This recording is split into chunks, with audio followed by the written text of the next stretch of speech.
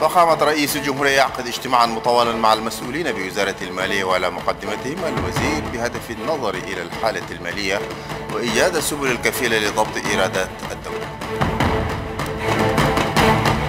وزيرة التدريب المهني والمهن الصغيرة تلتقي بعمال وزارتها بهدف الوقوف على المشاكل والصعوبات التي تواجه الوزارة ووضع خطط واستراتيجيات كفيلة بتحسين سير العمل.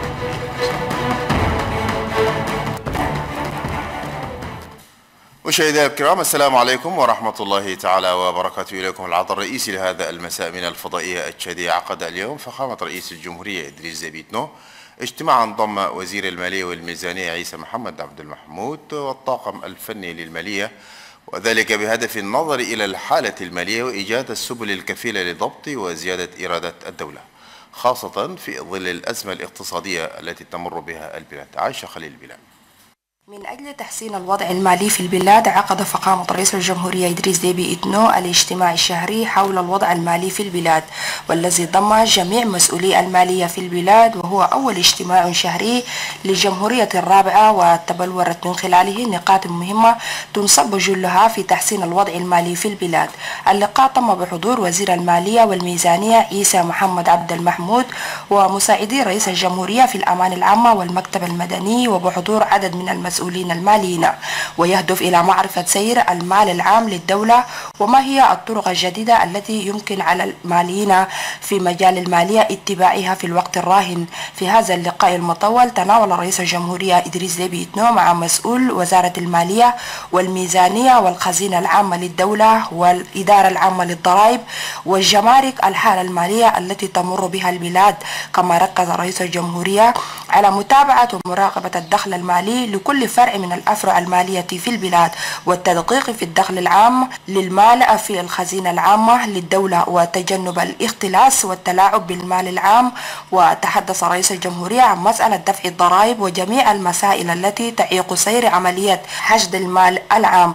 أما المسؤولين الماليين في هذا اللقاء أثبتوا رغبتهم الصادقة على تكثيف الجهود من أجل القيام بالمطلوب وتطبيق كل القوانين المالية من أجل تحسين الصورة العامة للحالة المالية. وزير المالية والميزانية عيسى محمد عبد المحمود في نهاية اللقاء صرح بالتالي آه اليوم لمينا مع آه الرئيس الدولة آه إدريس ديبي نو. يعني خدمنا في المال البندسة في, في الصندوق عن الدولة.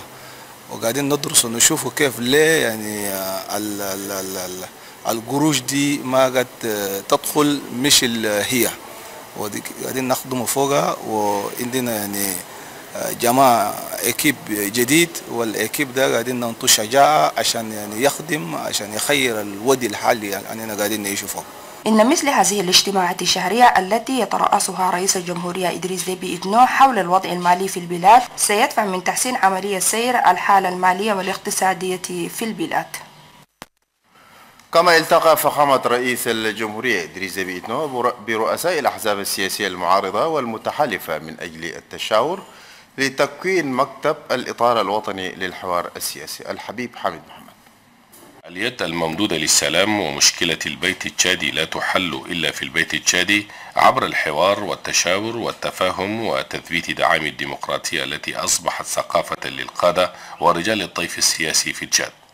فبعد اللقاء الأول والثاني الذي جمع فخامة رئيس الجمهورية إدريس ديبي إتنو مع رجال الطيف السياسي المتحالف منهم والمعارض وذلك بهدف تشكيل وتكوين مكتب إطار وطني للحوار السياسي يكون بمثابة الراعي والمنظم للعملية الديمقراطية في البلاد. ولكن رياح الفكر السياسي واختلاف أوجه النظر لا تترك للسفن بما لا تشتهي. وهذه الأمنيات والاختلافات الأيديولوجية أو بالأحرى التسابق في زعامة الإطار لم تترك شاردة ولا واردة إلا أحصتها. الأمر الذي جعل فخامة رئيس الجمهورية إدريس ديبي إتنو رأس الدولة ورئيس جمهورية تشاد والراعي والضامن لسير العملية الديمقراطية في تشاد يلتقي صباح هذا اليوم مع الطيف السياسي للمرة الثالثة.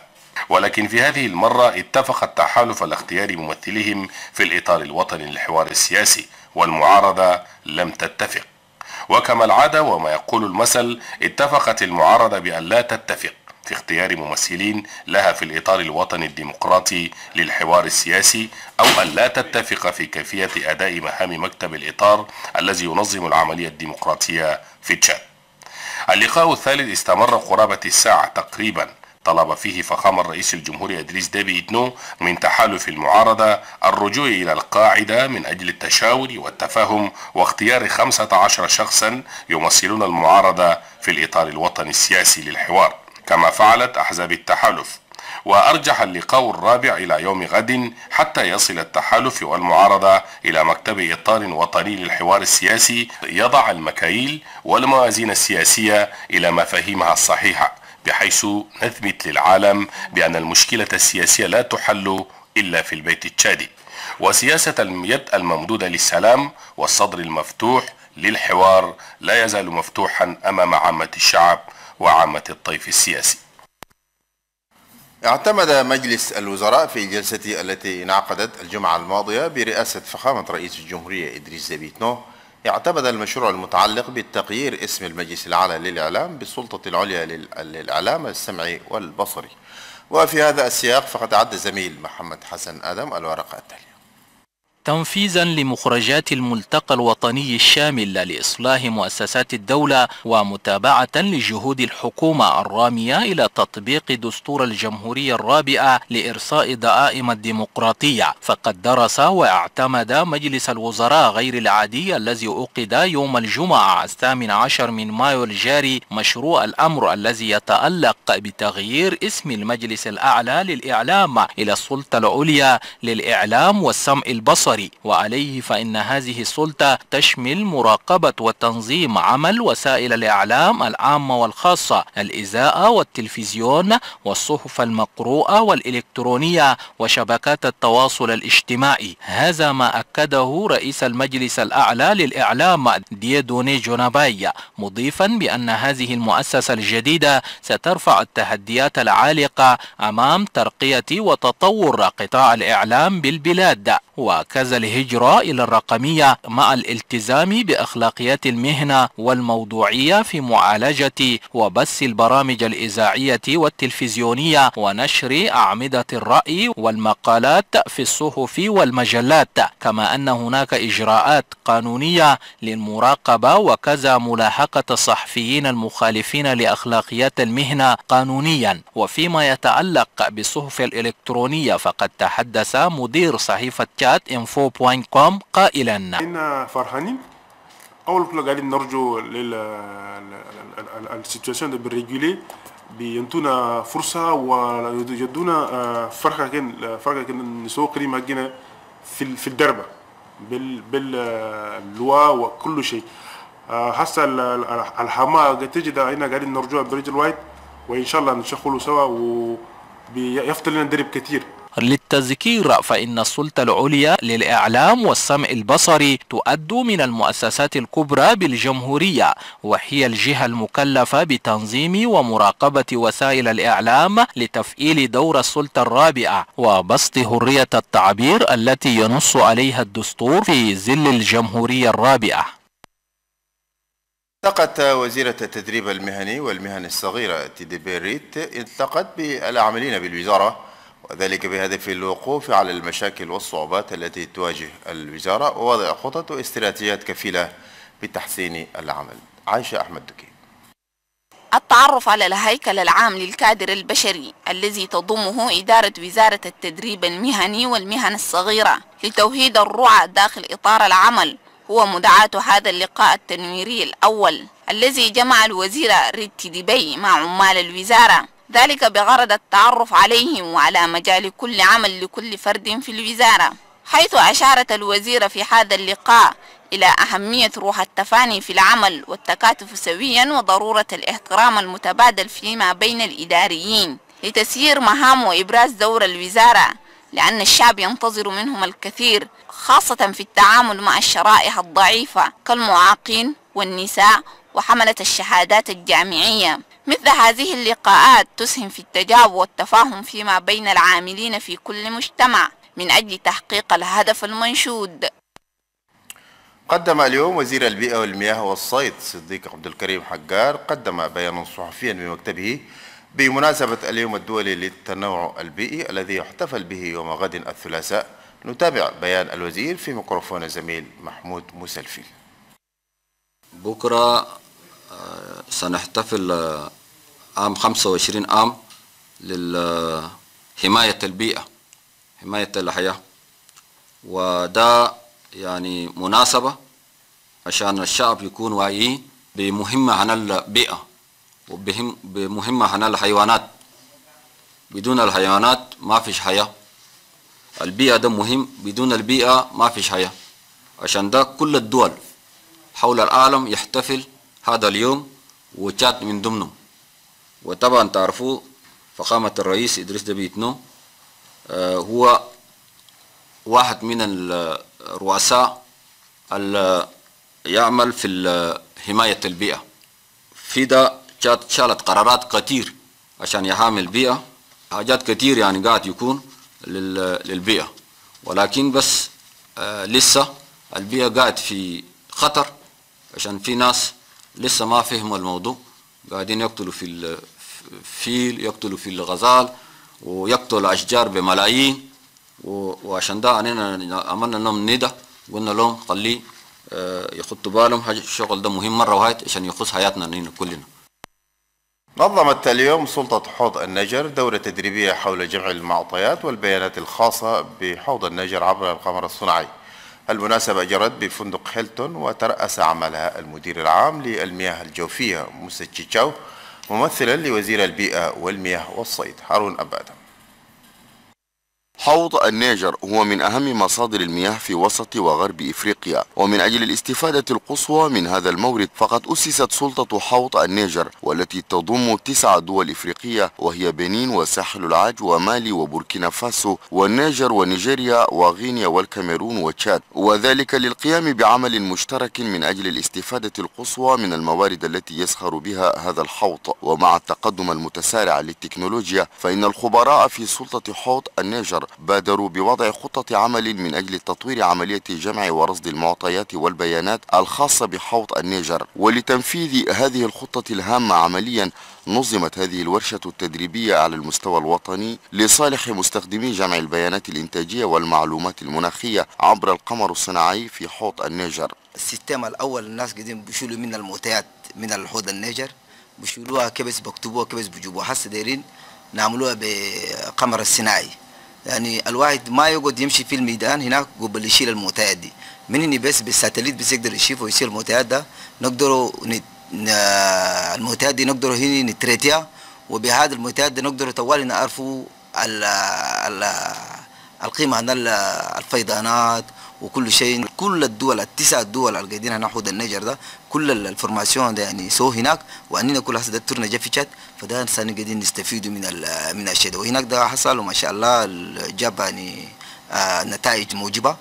إن تكنولوجيا مراقبة حوض النيجر تسمح بمتابعة وتقييم مؤشر نمو المحاصيل في الزمن الفعلي وتتبع الحركات الإيجابية والسلبية وإدراك الكوارث في الوقت المناسب وجريان المياه. افتتح الورشة رسميا المدير العام للمياه الجوفية موسى تشيتشاو ممثلا لوزير البيئة والمياه والصيد والذي أشار إلى أن هذه الورشة هي مكملة لأعمال ملتقى نيامي الذي عقد مؤخرا. وأكد التزام الحكومة التشادية بتطبيق كل المطالب والتوصيات المتعلقة بهذا الشأن. وأشاد بهذه الخطوات العملية والجادة بحيث تكمن الميزة المهمة في هذه التكنولوجيا في ضبط المناطق وأحوالها بالحوض وتفسيرها في خريطة تفاعلية يمكن للمستخدمين قراءتها وفرض توقعات للأحداث المحتملة وكيفية معالجتها والسيطرة عليها. نظمت غرفة النساء الرائدات بشات ورشة تدريبية لصالح النساء العاملات في مجالات تحويل المواد الاستهلاكية قدمنا من أقاليم البلاد المختلفة وذلك بغرض تقوية كفاءاتهن وقدراتهن في مجال إدارة تسيير المؤسسات الحرفية والتجارية. محمد حسن آدم.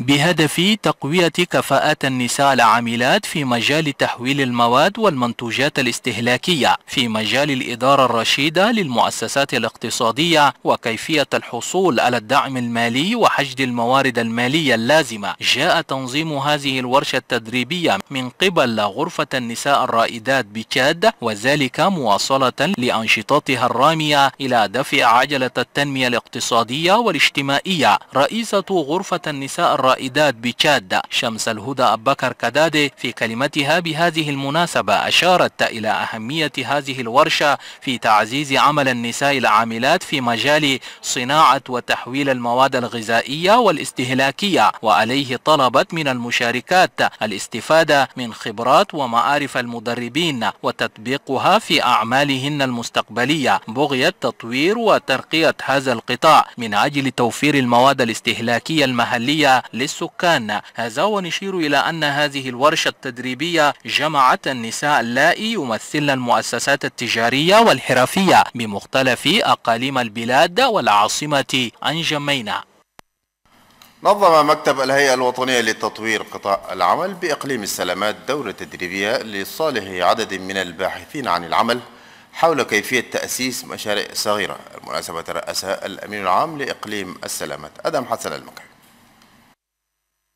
قرابة مئة باحث عن العمل. استقطبتهم الدورة التدريبية للهيئة الوطنية لتطوير قطاع العمل بمدينة أم التيمان وذلك بهدف إيجاد فرص عمل للشباب بخلق مشاريع وابتكارات لأعمال صغيرة تدعمها الهيئة الوطنية لتطوير قطاع العمل.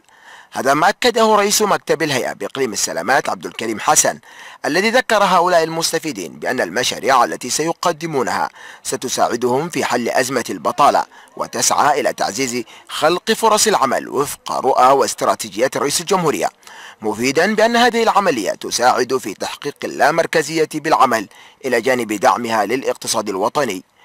الأمين العام لإقليم السلامات مختار إنجرتا تنبلباي خلال الدورة قال أن المناسبة جاءت في الوقت المناسب لتضع بصمة التكوين المهني استجابة لميادين العمل في الجمهورية الرابعة داعيا المشاركين للاستفادة القصوى من هذه الدورة في سبيل الحصول على دعم وتمويل من قبل أصحاب المشاريع الكبرى والتجار. قام المكتب الفرعي للمنظمة الألمانية للتنمية بإقليم السلامات بتقديم معدات تقدر بأكثر من 33 مليون فرنك سيفا لبعض المنظمات والمؤسسات الحكومية وتدخل هذه المساعدة في إطار دعم مشروع التنمية والتعايش السلمي بإقليم السلامات في كلمته ممثل المنظمة الألمانية للتنمية جيكولوم دينغامباي أكد بأن منظمته تقف دائما بجانب الحكومة وذلك بغرض توفير بعض الأجهزة الضرورية. الأمين العام لإقليم السلامات مختار نغارتات تومبلباي أشاد بهذه المبادرة ومقدما شكره للإدارة لهذه البادرة ومناشدا المنظمات الأخرى حذو هذه هذا الطريق الذي يمكن عن طريقه تحقيق العديد من البرامج في الإقليم. سياسيا نصب الرئيس الوطني لحزب التجمع الوطني من أجل الديمقراطية والتقدم ال بي محمد الله طاهر. نصب أعضاء المكتب الفرعي للحزب بمدينة دوبا عاصمة إقليم لوغون الشرقي خليل حسن صالح. استعدادا للانتخابات المحلية والتشريعية شرع حزب التجمع من أجل الديمقراطية والتقدم بحشد مناضليه وإعادة تثبيت مكاتبه الإقليمية من أجل رفع التحديات التي تنتظر الحزب في المستقبل. وتعد جولة الرئيس الوطني للحزب التي حطت بمدينة الدوباء تأكيدا لهذه العزيمة. وفي مدينة الدوباء حاضرة إقليم لوغون الشرقي نصب الرئيس الوطني محمد اللاو طاهر رسميا أعضاء المكتب الفرعي والمنسقية الوطنية للشباب ومنسقية المرأة وذلك لأهمية المكاتب الفرعية ودورها في تسيير الحملات الانتخابية بالأقاليم. وطلب رئيس المكتب الفرعي حشد المناضلين ومساندتهم للحزب في حملاته المقبلة. محمد اللاو طاهر الرئيس الوطني للحزب قال إن حزبهم هو حزب لكل الطبقات لم يختصر فقط على القيادات والمسؤولين مؤكدا إصرارهم في المكتب التنفيذي لاحترام وتطبيق الفلسفة التي وضعها الرئيس المؤسس للحزب لول محمد شواء وأضاف أن الحزب يسعى إلى رفع عدد النواب إلى ضعفين في الانتخابات القادمة وإن وقوف مناضلي الحزب في داخل البلاد وخارجها يعطي دفعة قوية لتحقيق متطلبات الجمهورية الرابعة التي ينتظرها الشعب التشادي آملا منها الكثير والكثير. أطلق اليوم عمدة الدائرة الثالثة سامي ميشو ميشيل فعاليات الحملة التوعوية والإخبارية التي نظمها تحالف منظمات المجتمع المدني حول مخرجات المنتدى الوطني الشامل. حسن جد عمر. تنوير سكان بلدية الدائرة الثالثة بمفهوم الجمهورية الرابعة هو مفاد رسالة تحالف منظمات المجتمع المدني من أجل دعم مكتسبات المنتدى الوطني الشامل عبر هذه الحملة التوعوية والإخبارية. فعقب الدائرتين الأولى والثانية لمدينة أنجمينة حطت الحملة رحالها بالدائرة الثالثة. إن مسؤولية التطبيق الفعلي لمخرجات ومكتسبات المنطقة الوطني الشامل هي مسؤولية كل مواطن مؤمن بالدستور وبرامج الجمهورية الرابعة من أجل هدف من أجل خلق تشاد جديدة وأفكار جديدة ومجتمع تشادي سعيد لذلك فإننا نطلب من مواطني الدائرة الثالثة بذل كل ما بوسعهم لدعم مكتسبات المنطقة الوطني الشامل وفهم وتطبيق برامج الجمهورية الرابعة حتى نستطيع الوقوف أمام كل التحديات التي تواجه التطور الاقتصادي والاجتماعي لبلادنا الحبيبة. رسالة أشاد بها عمدة بلدية الدائرة الثالثة سامي ميشو ميشيل الذي ذكر الحضور بالمنتدى الوطني الشامل وما تمخض منه مشيرا إلى أن الجمهورية الرابعة التي نحن في صددها الآن قد جاء ميلادها من ثنايا هذا المنتدى. ولكي تصل رسالة التحالف إلى جميع سكان الدائرة طلب العمدة من جميع رؤساء الحارات والمربعات البدء في عملية التوعية لتفهيم الجميع بمعنى هذه الجمهورية. قامت السلطات الإدارية بمحافظة مرشا بإقليم نادي الشرق بمصادرة كمية كبيرة من المواد الغذائية المنتهية الصلاحية. ومن ثم قامت السلطات بحرقها بحضور المحافظ جدي وداي أونكو محمد سعيد أبزين عندما يستولي الجشع على التاجر سيلحق الضرر بالمواطن. مكافأة لهذه الأضرار وسعيا لوضع حد لها كونت لجنة مشتركة بمحافظة مرشا بقيادة وردقو عبد الكريم تولي وذلك بهدف مراقبة المواد المنتهية الصلاحية بالسوق المحلي في الفترة الممتدة من التاسع وحتى السابع عشر من شهر مايو الجاري. فالحصيلة الإجمالية أربعة ملايين فرنك سيفا قيمة للمواد التي تمت مصادرتها. محافظ محافظة مرشا جيدي وادي أموكو شكر البعثة على ما قدمته من جهود في سبيل مكافحة الآفة الضارة التي ضربت بالسوق محذرا التجار من تكرار ذلك مؤكدا على الملاحقة القانونية حالما يتكرر ذلك موجها خطابه للعمدة على العمل من أجل متابعة ومراقبة السوق باستمرار للمحافظة عليه من المواد المنتهية الصلاحية. كلمات وجدت أذن ساقية من عمدة المدينة الذي أكد هو الآخر على ضرورة المواصلة في مراقبة السوق. مجددا التأكيد أن شهر مايو سيكون الشهر الدوري لمراقبة السوق وملاحقة كل من يضمر السوق بتوفير التجارة المنتهية الصلاحية. لتحرق البضاعة بعدها أمام الحضور إذانا لانطلاق فجر جديد خال من البضاعة المنتهية الصلاحية بالسوق. قدم المندوب الإقليمي لوزارة المرأة والشؤون الاجتماعية والتضامن الوطني والأسرة بوادي فيرا نورين عبد العزيز قدم شهادات تقديرية للمتفوقين برياض الأطفال بمدينة بلتن محمد صالح أبكر. تزامنا مع نهاية العام الدراسي للعام الجاري نظمت إدارة روضة الأطفال بالمركز الاجتماعي لمدينة بلتن حفلا لتكريم الأطفال الأوائل من جهة وترسيخ روح وثقافة الامتياز موز الروضة من جهة أخرى. وفي حديثها بهذا الصدد المدرسة بالروضة السيدة نيكول نلوم رحبت بأولياء الأمور الذين لبوا الدعوة موضحة أن الأطفال بروضتها يتمتعون بذكاء فائق رغم المعدات التربوية المحدودة. مناشدة أولياء الأمور إلى إرسال الأطفال إلى الروضة لأنها تؤهلهم وتعدهم قبل الدخول إلى المرحلة الابتدائية للتعليم النظامي.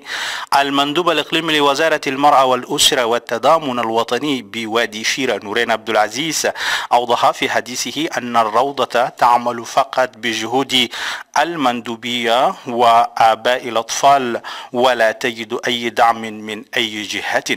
وعليه يدعو المندوب الوزارة المعنية وذوي الأياض البيضاء إلى تقديم الدعم والأون لهذه الروضة العامة لتكوين الأطفال. وفي أثناء الحفلة قدم الأطفال مسرحيات كوميدية وألعاب وأناشيد مما جعلت ذلك بعض الآباء أن يعربوا مدى امتنانهم وعرفانهم لما تقدمه الروضة للأطفال. هذا وقد شهد الحفل أيضا تقديم شهادات تقديرية للأطفال بالروضة الممتازين تكريما لهم وبحضور أوليائهم. قدم اليوم المجلس الأعلى للشؤون الإسلامية عبر مؤسسة القلب الكبير قدم مواد غذائية لاتحاد الأرامل والأيتام ولجمعية جنود الشادين من أجل السلام. تقرير ابتسام موسى عبد الله وقراءة منى حسن سكايا بمبادرة كريمة من مؤسسة القلب الكبير جاء تقديم مساعدات إنسانية تتمثل من مواد غذائية لصالح جمعية اتحاد الأرامل والأيتام الجنود التشاديون من أجل السلام في تشاد وذلك عبر المجلس العالي للشؤون الإسلامية. هذه المؤسسة قدمت الكثير وخاصة للأسر الفقيرة المحتاجة. واليوم نحن خير دليل وخير شاهد لتقديم المساعدة لاتحاد الأرامل والأيتام للجنود التشاديين من أجل السلام. أما رئيسة اتحاد الأرامل والأيتام لجنود التشاديين حجة خديجة هميشي عبرت عن فرحتها وقدمت الشكر للمؤسسة على هذه اللفتة الإنسانية. وللتذكير فإن مؤسسة القلب الكبير وعلى رأسها سيدة البلاد الأولى هند دبي إتنو. منذ تأسيسها إلى يومنا هذا فإنها تعمل على إدخال الفرح والسرور في قلوب الضعفاء والمساكين. نظم طلاب ثانوية القلب المقدس معرضا ثقافيا حول كيفية اختيار مهنة المستقبل وكان تحت شعار الرغبة في الهوية واختيار المهنة. وفي هذا الشأن قام اليوم فريق من التلفزيون بجولة داخل المعرض وكان برفقتهم الزميل عباس بكر مصطفى الذي وافانا بالتقرير التالي. الدورة التاسعة لملتقى المهني للطلاب لاختيار المسار المهني في المستقبل. حيث جاءت هذه المرة تحت عنوان الرغبة في هوية وخيار المهني. وبعد زيارة مختلف أجنحة المعرض قدم المهندس محمد يمني توضيحات للشباب الذين قاموا بزيارة إلى المعرض. الطلاب المبدعين من جانبهم فقد حدد البعض مسيرته المهنية. الأول منذ الدورة الثامنة فإن ملتقى المهني فتح الفرصة للشباب مما أعطاه ميزة خاصة عن سابقته. يعد هذا الملتقى بمبادرة من طلاب ثانوية سكركير الأهلية ويعتبر منبرا لتبادل الآراء والأفكار بين الطلاب مع مسؤولي المؤسسات بالبلاد. وخلال التبادل سيسمح للطلاب اختيار الأمثل للعمل المهني منذ الصغر أعلن مساء أمس عمدة الدائرة السادسة فعاليات الأسبوع الثقافي لشباب الكنيسة البروتستانية وذلك لمناقشة مختلف القضايا الدينية والثقافية والعلمية. عبد الله هارون.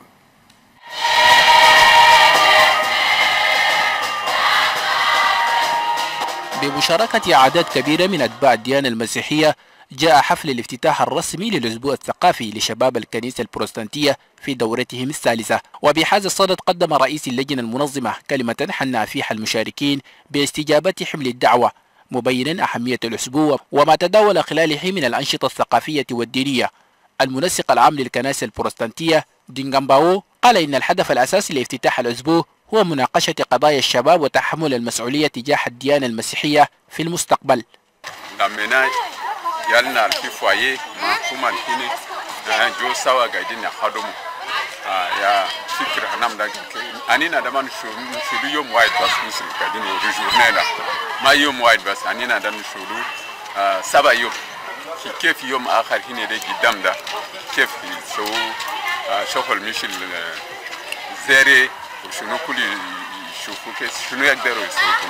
عمدة بلدية الدائرة السادسة قدم الشكر إلى قادة الديانة المسيحية لتنظيمهم لحاز الأسبوع الثقافي. وحث الشباب بضرورة التمسك بالمبادئ الدينية والأساليب الحميدة التي تنادي بالسلام والتسامح كما تداخل القساوسة بكلمة وجهوا فيها بالرسالة الربانية ونشر المعارف العلمية في أوساط الشباب لأجل معرفة الأصول للديانة المسيحية التي تدعو إلى الخير والمحبة بين فئات المجتمع. رياضيا جرت بملعب فيليكس إيبوي لكرة السلة عملية اختيار خمسة من الشباب من قبل المدير الفني للساحل وسيتم تدريب وتأهيل هؤلاء الشباب في المجالات المختلفة لكرة السلة. عبد الله عباس مرة أخرى.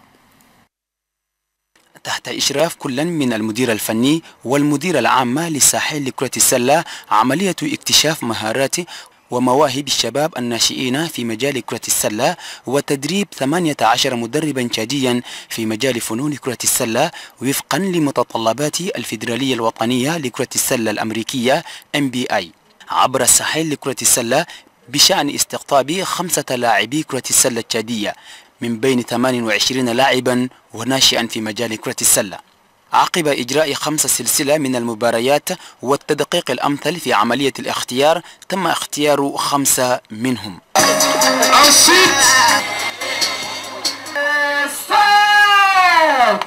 Pour la remise des attestations à ces cinq majeurs وعلى لسان مديرة الساحل لكرة السلة أكدت بأن رؤيتها نحو البلاد قد تحقق. أما المدير العام للرياضة أبانت بأن الوزارة ستقف إلى جانب الفيدرالية لبلوغ أهدافها المرسومة في تأهيل الشباب وتكوين منتخب وطني لكرة السلة. تقرير الزميل عباس بكر مصطفى انتهت الأخبار ونشكركم على المتابعة. إلى اللقاء.